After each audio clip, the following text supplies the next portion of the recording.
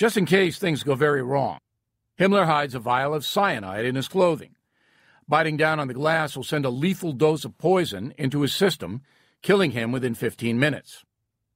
Himmler's SS fellow travelers also carry poison. They alter their appearances as well, removing insignia from their clothing and slipping new identity papers into their pockets as they prepare for life on the run.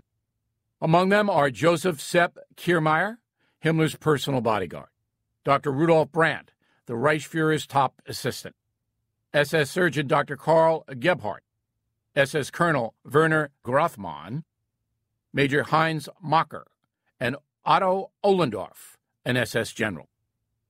Ohlendorf, in particular, is a monster, leader of the mobile death squads known as the Einsatzgruppen that traveled alongside military units to exterminate civilian populations. When Germany invaded the Soviet Union in June 1941, the conquered territory was plundered of livestock, grain, and machinery in order to supply the German Reich. Soviet prisoners of war were not fed, leading some 2 million soldiers to starve to death. Simultaneously, troops under Ohlendorf's supervision rounded up the Jewish population en masse.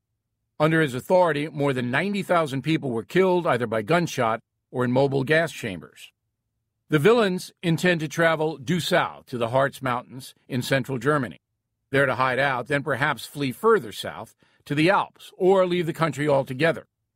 And this is not by accident. For more than a year, Heinrich Himmler has known the war in Europe could not be won. So he feverishly helped set up a Fourth Reich apparatus to ensure the future of a powerful post war Germany. Adolf Hitler himself said that the Nazi Empire was built to last a thousand years. Himmler and his SS are determined to see that pledge become a reality. In years to come, some investigators will point to a clandestine meeting at the Maison Rouge Hotel in Strasbourg, France, on August 10, 1944, as the source of this hope.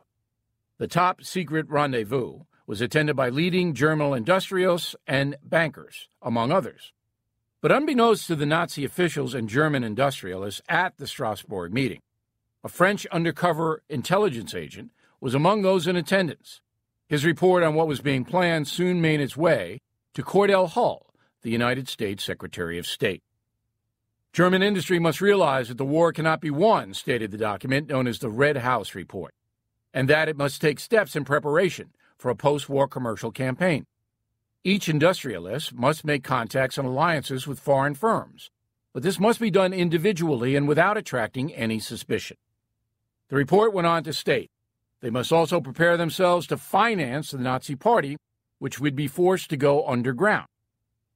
But perhaps the most audacious part of the plan was that German companies would begin operating abroad, all the while disguising their connection to Germany and the Nazis. In this way, they would continue conducting military espionage and systematically contributing to the eventual return of Germany's military might. Those in attendance in Strasbourg were reminded, for example, that a patent for stainless steel was jointly held by Krupp and the American Chemical Foundation.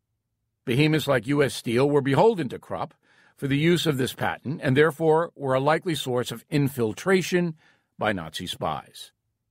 These offices are to be established in large cities where they can be most successfully hidden, as well as in little villages near sources of hydroelectric power, where they can pretend to be studying the development of water resources. The existence of these is to be known only to a very few people in each industry and by the chiefs of the Nazi Party. Each office will have a liaison agent with the party, the report continued. The final payoff would be financial ensuring participation by the industrial concerns. As soon as the party becomes strong enough to reestablish its control over Germany, the industrialists will be paid for their effort and cooperation by concessions and orders. The meeting in Strasbourg has already paid off for the Nazis. More than $500 million has been transferred out of Germany to corporations in neutral nations like Spain, Switzerland, Portugal, and Argentina. In time, hundreds of companies will be anonymously purchased with these funds. Vital to the success of this plan is not just the smuggling of wealth out of Germany, but the escape of influential Nazi leaders. This is what Heinrich Himmler is counting on.